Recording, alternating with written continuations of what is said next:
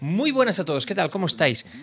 La semana pasada pude estar en París para probar lo que estáis viendo, Atomic Heart, el conocido como Bioshock ruso, y que es un juego que sale nada, sale ahora en febrero y es un juego que yo creo que debería haber ya uh, llamado vuestra atención porque realmente lo que pude probar ahí en la capital del amor uh, fue muy, muy, muy interesante.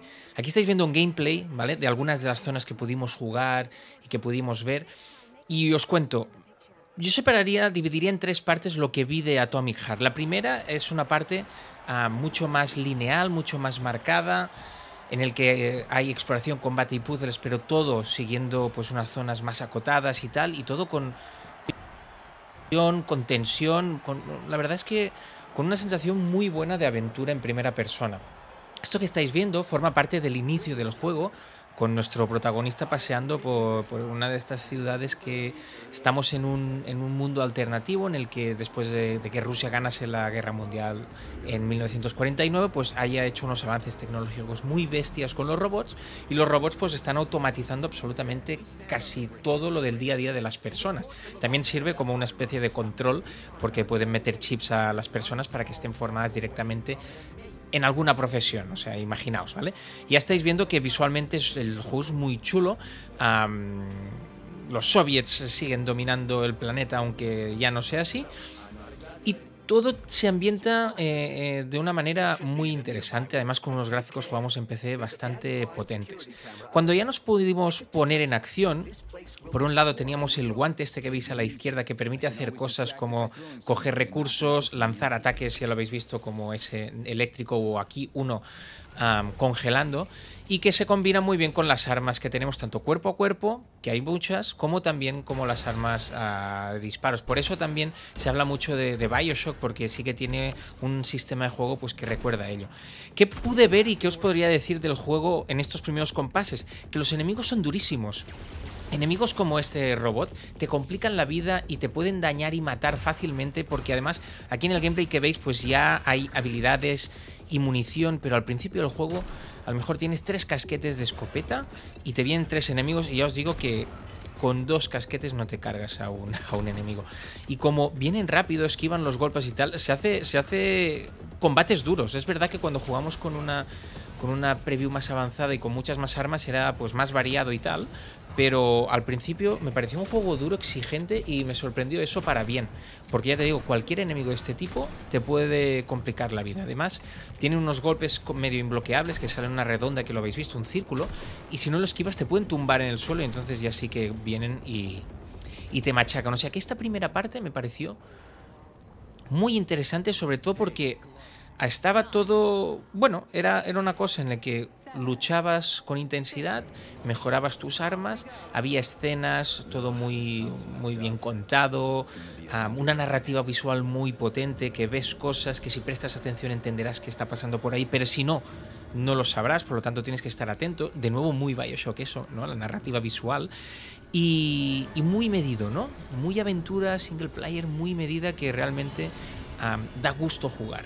Porque además a nivel mecánico tanto las habilidades que pudimos probar, pensadas pues para atacar a muchos enemigos a la vez, pensadas para protegernos incluso porque hay una burbuja por ejemplo que nos protege, y las armas, que todas tienen sus particularidades, las armas cuerpo a cuerpo si las mejoras son bestiales, pero son una auténtica locura, pues hacen que todo este tramo en el que vas explorando, en el que podrás hablar con los muertos para descubrir cómo avanzar, porque en el juego te permite hablar con los muertos que están muertos pero todavía quedan unas horas de conciencia que no saben exactamente qué les ha pasado, pues todo eso hace que la ambientación, la manera de contar las cosas y cómo avanzamos sea muy chulo.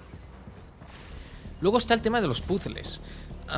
Pudimos probar algunos rompecabezas que nos gustaron mucho porque realmente no es solo avanzar, disparar y abrir compuertas o buscar llaves, sino que aquí estáis viendo un tipo de mecánica que es bastante guay, que es el de mover esa bola por un sitio concreto para encender una cosa. También probamos un puzzle que tenía pues a jugar con la gravedad a la hora de activar unos magnetismos para mover cubos hacia arriba y hacia abajo y pasar por ellos, ¿no?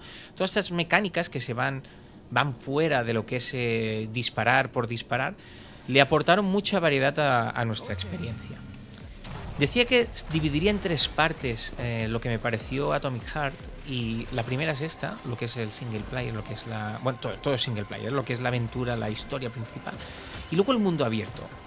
El mundo abierto me dejó un poco frío aquí lo estáis viendo, ¿vale? Eh, lo vi como un mundo, un campo a través en el que pues sirve de conector para ir a distintos sitios y de hecho hay mini puzzles para entrar en mazmorras donde con más rompecabezas puedes conseguir mejores recursos para mejorar tus armas o enfrentarte a jefes, etcétera, etcétera.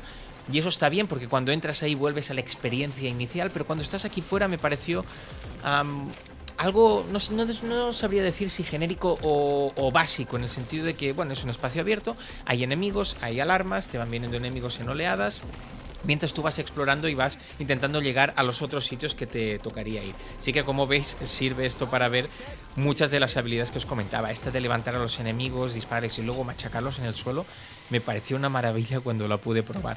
Y ya veis que van saliendo armas, incluso aquí el bazocazo este, que hacen que, el elenco del arsenal que tendremos pues sea uno de los puntos a favor del juego. Visualmente, como veis, el título luce muy muy bien, pero sí que es verdad que la experiencia transitando por el open world a mí no me no digo que esté mal, pero creo que las dos primeras horas, por ejemplo, me parecieron brutales, cómo te impactan, cómo te explican las cosas, cómo te sumerges ahí dentro. Y aquí la experiencia es un poco más tradicional. Es verdad que lo que os decía, ¿eh? encuentras un sitio con una puerta cerrada, buscas cómo abrirla con unas cámaras, con no sé qué, cuando entras, pum, te encuentras pues ahí dentro un puzzle, unos enemigos, unas historias que bueno, que aportan, entiendo que van a hacer que el juego, que va a durar unas 25 horas, me dijo, me dijeron los desarrolladores, si vas jugando normal, pues entiendo que vamos a tener mucha variedad de situaciones para conseguir recompensas, recursos y todo esto, ¿no? Y la tercera pata, que sí que nos lo ha podido enseñar aquí en este gameplay, pero ya la habéis visto en algún tráiler, es la batalla contra el jefe final, esa bola metalizada que va saltando y tiene unos patrones muy variados. Y ese combate me gustó porque era un combate intenso, difícil, tenías que aprenderte sus patrones, era muy un combate de aventura, de acción, de esquivar, esquivar y aprovechar cuando salía, bueno, cuando se quedaba... vulnerable, ¿no? Y eso, eso también me gustó y tengo ganas de ver muchos más jefes.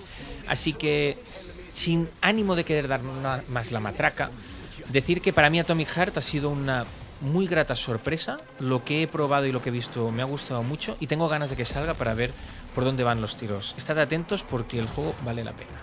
Un abrazo chicos.